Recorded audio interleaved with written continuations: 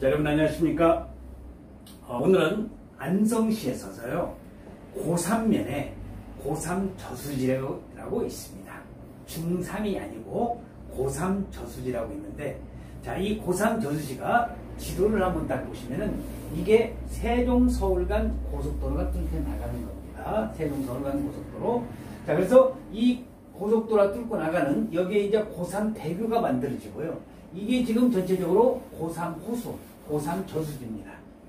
오늘 여러분들에게 세종 서울간 고속도로에 있어서 가장 그 핵심적인 고3 저수지를 말씀을 드리면서 여기에 어, 지도상으로 빨간 붉은색이 나와 있죠. 분홍색 고3 휴게소, 바우더기 휴게소입니다. 자, 그래서 이 주변을 집중적으로 여러분들에게 말씀을 드리고 싶은 얘기는 자, 우리가 어, 지금 그 안성시가요. 어, 지방 세원, 세수라든지 그렇게 발전된 지역이 아닙니다. 그래서 안성시에서는 안성시 시장을 중심으로 해서 아주 야심차게 안성시를 어떻게 도시계획을 잘해서 어, 잘 살 수 있는 안성 맞춤의 안성시를 만들 수 있을 것인가를 아마 연구를 많이 하고 있는 중에 어, 여러 가지 발전 그 지역이 있겠고 또 프로젝트가 있지만은 오늘 제가 말씀드리고 싶은 것은 고3 저수지를 중심으로 해서 고3 저수지 프로젝트 쉽게 말해서 이 고3 호수를 둘레길을 만들어서 거기를 관광 특구를 만든다는 겁니다. 그 관광 특구를 어떻게 만드느냐 여기 보시다시피 건강 휴양지구 이쪽은 숙박지구 자연 체험지구 자 건강 휴양지구가 있는 이쪽이 말이에요. 이쪽이 그 남향으로서 고3 저수지가 쫙 내려다 보이는데 제가 그 고3 이 저수지를 수없이 많이 그 왕림을 하면서 분석한 결과 제일로 뷰가 좋고 전망이 좋은 데가 바로 건강 휴양지구 숙박지가 있는 이쪽입니다. 그래서 고3 호수를 내려다보는 남양바지에 아마 이런 것을 건강 휴양지구라든지 숙박지구라든지 안성시와 그다음에 농어촌공사가 특별계획구역으로 해서 여기 지구단위 계획을 해서 개발을 하려고 지금 많은 준비를 하고 있습니다. 거기에 대한 정보, 어, 제가 상당히 많은 정보를 입수해서 가지고 있으니까 어, 그런 쪽에 대해서 이제 궁금하신 사항들이 있으시면 저에게 연락을 주시면 제가 여러분들과 같이 이런 개발에 참여도 하면서 정보를 가르쳐 드릴 것을 약속을 드리겠습니다.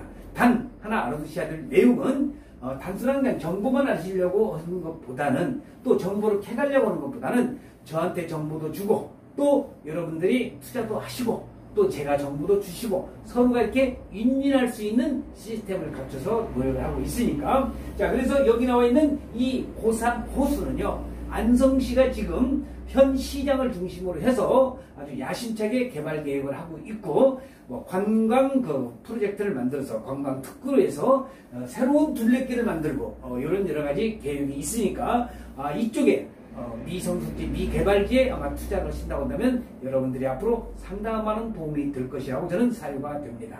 또 하나 알아두셔야 될 것은 자 세종서울 간 고속도로에서 고3 휴게소입니다. 이 고3 휴게소는요 대한민국 최대의 고속도로 휴게소와 물류센터라든지 또는 저기 그 덕평 휴게소 마냥 각종 우리가 판매 시설 물류센터 같은 것도 같이 겸할 수 있는 거기다가 더 플러스 알파는 진출입이 가능한 휴게소다. 그게 무슨 얘기냐? 자, 여기에 스마트 휴게소로서 인터체인지 기능과 그 다음에 대한민국 최대의 고속도로 휴게소 그런 기능을 갖출 수 있는. 자, 그러면 여러분이 간단한 얘기로 그 고속도로 인터체인지 주변에는 땅값이 올라요, 안 올라요? 오르잖아요. 왜?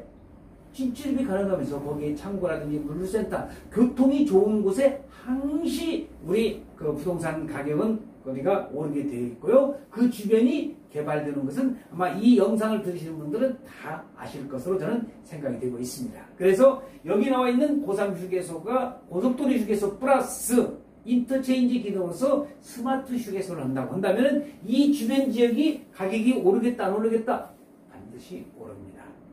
혹시 제가 이 영상을 촬영을 하면서 제가 깊숙이는 설명하지 않습니다. 어느 땅이 짚어서 어느 땅 이렇게 하는 것보다는 저는 아웃라인을 말씀을 드리고 이 설명을 들으신 다음에 아 괜찮겠네 하고 본인이 판단이 되고 되신다고 하면은 여기 밑에 나와 있는 전화번호로 저한테 전화를 주시면은요 제가 아는 데까지 답변을 해드리고 그렇게 해서 서로 상생, 공생할 수 있는 분위기를 만들어갈 수 있도록 하겠습니다. 자, 그래서 오늘은 여러분들한테 안성시에서 고3 저수지 주변을 제가 집중 연구 분석을 하면서 고3 호수 주변에 둘레길과 관광특구, 그 다음에 농어촌 공사와 그 안성시가 건강휴양지구라든지 숙박지구라든지 자연체험지구를 만드는 요 고삼 호수를 말씀드리고 고삼 호수 바로 옆에 대한민국 최대의 세종 서울간 고속도로에 있어서 고속도로 휴게소 플러스 진출입이 가능한 인터체인지 기능 스마트 바우덕이 휴게소 주변 지역이 앞으로 계속 괜찮을 것이다 하는 내용을 가지고 여러분들에게 설명을 드렸습니다.